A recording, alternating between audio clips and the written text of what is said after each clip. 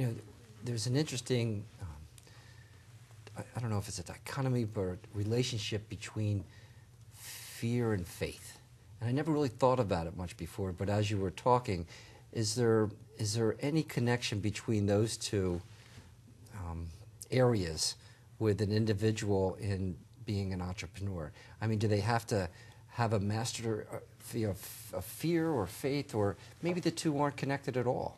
I think that um, you may find in different people, they focus on one or more of those in, in, in a different way than the average person does.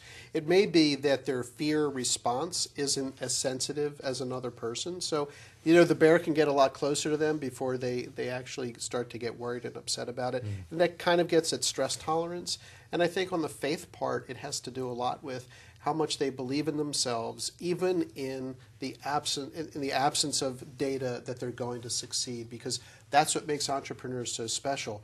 It's not it's not written out that they're going to that they're going to be a success, and they have to do it anyway, and they keep going. I mean, so many times, what they tend to do is, and this may be where fear and faith are connected.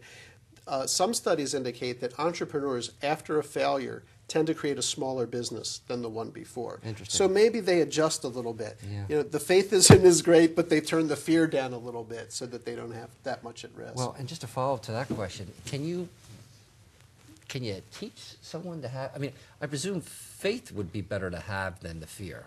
Of course, the fear is the unknown, and faith is, to, I guess, to believe in something that you haven't seen or feel. Or, but so, can you can you teach someone to have more of that? Well, maybe it has to do since everybody has both.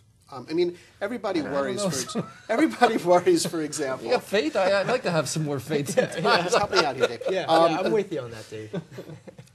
the amount of time that you spend in each day in either of those categories will probably depend on how sort of psychologically healthy you are Yeah. in running your business. Because if there's no fear there at all, you may not do wise things with the business or with investing in, in people or things.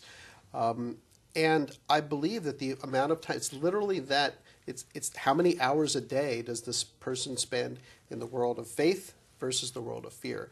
Um, too much of it can actually start to transmit itself to customers who get a sense that maybe he's not as confident as he was, to the staff, to vendors, and things like that. So I think it has to do with the also the ability of your emotions to help you regulate your intellect and the other way around. Get too emotional about it, you're not making good decisions. Get too logical about it, and you're not really taking risks. So there's a balance there, and I think each person finds the state that they're comfortable with, the balance of fear and faith that, that works for them.